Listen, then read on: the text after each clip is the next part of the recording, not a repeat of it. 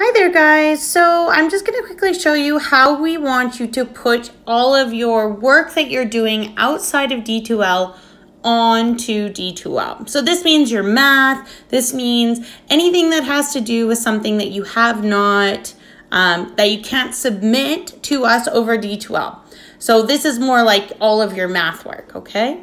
So the first thing we're going to do is you need some kind of device that has a camera. So the camera is going to be what takes a picture of um, the evidence or what we would say your work, okay?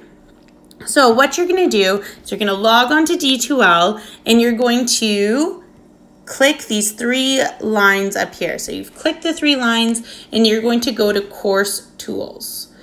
Once you've hit course tools, you're going to scroll down to this button that says my portfolio just under locker and in between quiz. So my portfolio, it's going to take you to your personal portfolio. Okay, this is where all of your evidence of your work is going to be put. It's going to take you to a screen that looks like this. It's got two choices. You're going to choose the grade 6 2019-2020 once it takes you there, you're going to hit add to portfolio. It's the blue button and it's going to take you to this screen. This screen shows um, that you can upload a file from Google Docs or from your phone. What I'd like you to do though is for you to upload the file with the little cloud. So upload a file.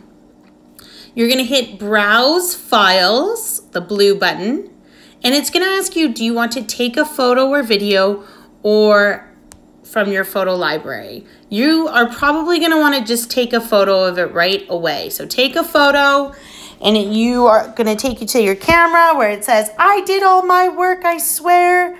Click the photo button. And on the right hand side, it says use photo. So use the photo. And that should upload it straight to your uh, D2L portfolio. You're not going to see it right away because um, Miss Vong and I need to approve your work before it can be posted. Um, but this is how we are going to see the work that you are doing or completing outside of D2L. Okay, so if you have any questions, please email Miss Wong and I, and we can help you through this process. Uh, watch this video a couple of times just to get the idea. Remember, I'm using my iPhone. Androids might be a little bit different, but they'll probably be about the same. Okay, so give that a try and let us know if you're having any issues.